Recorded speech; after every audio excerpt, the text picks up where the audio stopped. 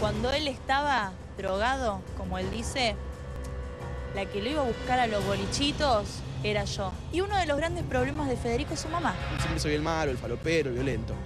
Pero nunca va a decir ella que lo- las partes buenas mías. Cuando las mujeres tienen sed de, de fama, es bravo. Ella sabe bien quién yo fui, con mis cosas malas y con mis cosas buenas.